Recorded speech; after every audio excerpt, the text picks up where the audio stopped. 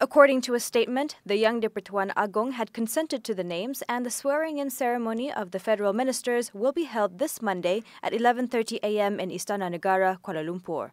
The first-term MP, Dr. Maszlee Malik from Parti Pribumi Bersatu Malaysia (PPBM), was named as Tun Dr. Mahathir's replacement for Education Minister.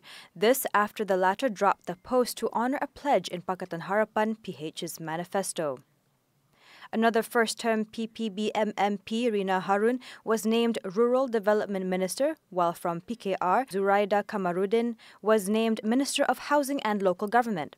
Ministers from DAP who made the cut were Anthony Loke Siew Fook for Transport Minister, Gobind Singh Deo for Communications and Multimedia, and M. Kulasegaran for Human Resources. Rounding up the list were Parti Amanah Negara members Salahuddin Ayub for the Agriculture and Agro-Based Industry post and Dr. Dzulkefly Ahmad as the Health Minister.